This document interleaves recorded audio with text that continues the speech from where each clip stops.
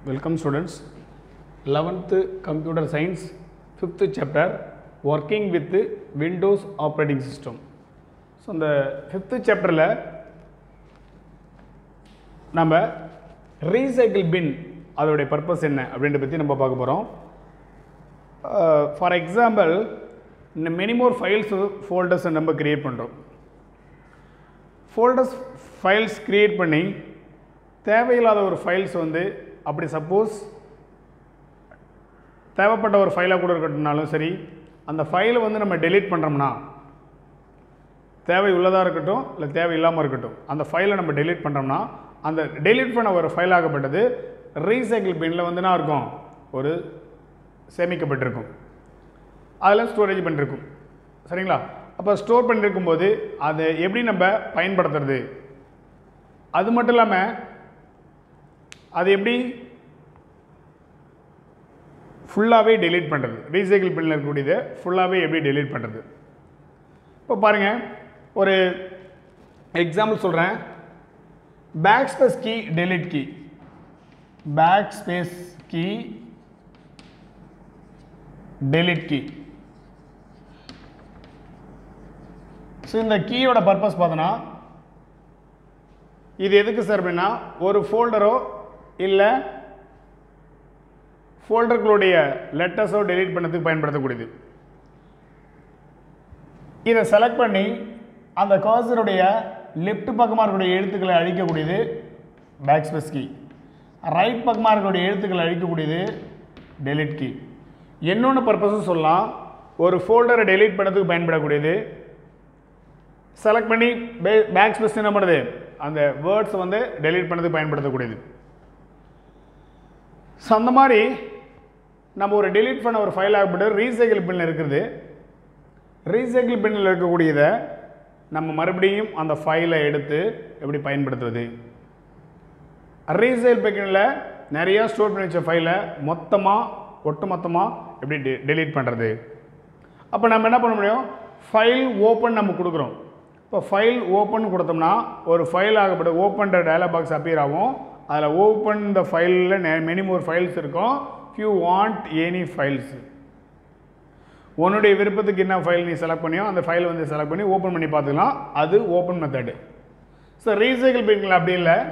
So அதோடைய recycle பின்ன்றது ஒரு special ஃபோல்டர்னு சொல்லலாம். என்னென்ன சார் அப்படின்னா அதாவது ஒரு யூஸரால் ரீசைக்கிள் பண்ணுறது எல்லாமே டெலீட் பண்ண முடியும். Recycle bin is a special folder to keep file or folder deleted by user ஒரு யூசரால் ஃபோல்டராக இருக்கட்டும் ஃபைலாக இருக்கட்டும் அது மூலமா உள்ள இருக்கிறத டெலிட் பண்ண முடியும். ஸோ எதை கீப் பண்ணிக்கிறது? ஸ்பெஷல் ஃபோல்டராக உருவாக்கப்பட்ட ஒரு ரீசைக்கிள் பின்னுக்குள்ளே இருக்கக்கூடியதை. விச் மீன்ஸ் ரீசைக்கிள் பின்னுடைய ஆப்பர்ச்சுனிட்டி பார்த்தீங்கன்னா ஃபுல்லாகவே நமது அது கவர் பண்ணியிருக்கும். இப்போ ரீசைக்கிள் பிரிக்கிறதுல மட்டும் நம்ம டேரெக்டாக போயிட்டு ஒரு ஃபைலோ இருக்கட்டும் ஒரு ஃபோல்டராக இருக்கட்டும் அதை யூஸரால் அக்சஸ் பண்ண முடியாது. ஆனால் the recycle bin without the storing it ஆனால் ரீசைக்கிள் என்னது? உள்ள இருக்கக்கூடியது என்ன பண்ணுது? எந்த ஒரு இது இல்லாமல் ரீஸ்டோரிங் அதை தான் பண்ண முடியுமே தவிர ஆனால் என்ன பண்ண முடியாது? டைரெக்டாக அதை அக்சஸ் பண்ண முடியாது. இதுக்கு தான் ரீசைக்கிள் பின் சொல்லி நம்ம அழைக்கப்படுறோம். எப்படி நம்ம ரீஸ்டோர் பண்ணுறது ரீசைக்கிள் பின்னில் இருந்து ஒரு ஃபைலோ இல்லை ஒரு ஃபோல்டரோ எப்படி நம்ம ரீஸ்டோர் பண்ணுவது? How will you restore file or folder from recycle bin stay recycle பின்னை ஃபஸ்ட்டு ஓப்பன் பண்ணிக்கிறேன். ரீசைக்கிள் பின்னை ஃபஸ்ட்டு ஓப்பன் பண்ணிக்கிறேன். மவுஸில் ரைட் அதாவது என்னது ரைட் கிளிக் பண்ணுறேன் ரைட் கிளிக் பண்ணோடனே ஃபைலாக இருக்கட்டும் அது ஃபோல்டராக இருக்கட்டும் என்ன பண்ணு? அதை ரீஸ்டோர் பண்ணுறேன் ஒன்று அப்படி இல்லைன்னா ஏதாவது எந்த ஃபைலை நம்ம ரீஸ்டோர் பண்ண போகிறோமோ அந்த ஃபைல் என்ன பண்ண முடியும்? ஃபோல்டராக இருந்தாலும் சரி அதை வச்சு ரைட் கிளிக் பண்ணுறேன் அதில் ஒரு பாப்அப் மெனு ஒன்று ஸ்க்ரீனில் அப்பியர் ஆகும். அதில் ரீஸ்டோர்னு ஒரு ஆப்ஷன் இருக்கும். என்ன இருக்கும்? ரீஸ்டோர்னு ஒரு ஆப்ஷன் இருக்கும். அந்த ஆப்ஷனை செலக்ட் பண்ணிக்கிறேன். அதுக்கப்புறம் நம்ம என்ன பண்ணலாம்? ரீஸ்டோர் பண்ண ஆன பிறகு அந்த ஃபைலை ஃபோல்டரை நம்ம பயன்படுத்திக்கலாம். Okay open the recycle bin click on the right click the restore the folder or files. A pop-up menu appear on the screen. Uh, select the restore options. Then அந்த அதாவது மல்டிபிள் ஃபைல்ஸ் இந்த folders select the restore all items sir நிறைய files and folders வந்து நம்ம restore பண்ணோம் அப்படின்னா எல்லா ஐட்டமே என்ன பண்ணுறேன் ஃபஸ்ட்டு ரீஸ்டோர் பண்ணக்கூடிய ஐட்டம்ஸ் வந்து ஃபஸ்ட்டு செலக்ட் பண்ணிக்கிறேன். அதுக்கப்புறமா ரீஸ்டோர் அப்படின்னு சொல்லி கிளிக் பண்ணுறேன் ஸோ எல்லா ஐட்டம் அப்படின்னும் போது அதாவது ரீஸ்டோர் பண்ணுன்னா எல்லாத்தையுமே என்ன பண்ணுறேன் செலக்ட் பண்ணிவிட்டு அதுக்கப்புறம் ரீஸ்டோர்னு கொடுத்தாலே ஆட்டோமேட்டிக்காக அது ரீஸ்டோர் ஆக போது one way so only one files and folders அப்படின்னு செலக்ட் பண்ணேன்னா செலக்ட் பண்ணிவிட்டு ரைட் கிளிக் பண்ணி ரீஸ்டோர்னு இருக்கும். ரீஸ்டோரை கிளிக் பண்ணாலே ஆட்டோமேட்டிக்காக இருக்கும். உனக்கு ரீஸ்டோர் ஆகிடப்போகுது அது எந்த ஆப்ஷனில் இருக்குது? ரீசைக்கிள் பின்னில் இருக்குது.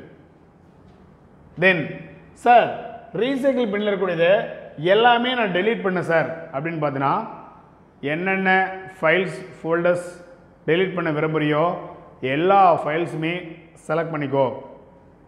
செலக்ட் பண்ணி முடிச்ச பிறகு அந்த ரைட்டில் அதாவது அதில் எம்டி ரீசைக்கிள் பின் அப்படின்னு ஒரு ஆப்ஷன் இருக்கும். எம்டி ரீசைக்கிள் பின்னு ஒரு ஆப்ஷன் இருக்கும். அதை செலக்ட் பண்ணிவிடு செலக்ட் பண்ணி முடிச்சுன்னா ரீசைக்கிள் பின்னில் என்னென்ன ஃபோல்டர் ஃபைல்ஸ் இருக்குதோ ஆல்சோ டெலிட்டட் எல்லாமே என்னன்னா டெலிட் ஆகிடும் ஓகே ஸோ இந்த மாதிரி நம்ம டெலிட் பண்ணதுக்கு ரீசைக்கிள் பின்னுன்ற ஆப்ஷனில் போயிட்டு எம்டி ரீசைக்கிள் பின்னு கொடுத்தா மட்டும்தான் ஆகும் டெலிட் ஆகும். சார் நம்ம டெலிட்னு கொடுத்தா டெலிட் ஆகுமா சார்? டெலிட் ஆகாது. அப்போ நம்ம அதை மறுபடியும் அதை பயன்படுத்தி எடுக்கணும் சார் அப்படின்னா ஃபைல் ஓப்பன் கொடுத்து ஓப்பன் பண்ணுற மாதிரி ஓப்பன் பண்ண முடியாது. ரீஸ்டோர் பண்ணிட்டு தான் அதை பயன்படுத்த முடியும். மறந்துடாதீங்க.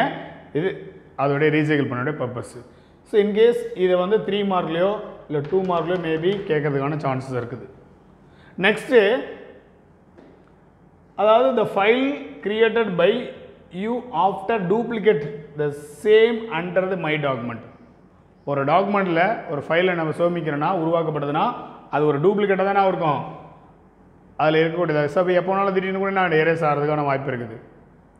தென் ஒரு ரீசைக்கிள் பின்னில் இருக்கக்கூடியதை பர்மனண்ட்டாக டெலீட் பண்ணுன்னா அதுக்குரிய ஷார்ட்கட் கீ என்ன சார் அப்படின்னு கேள்வி கேட்டால்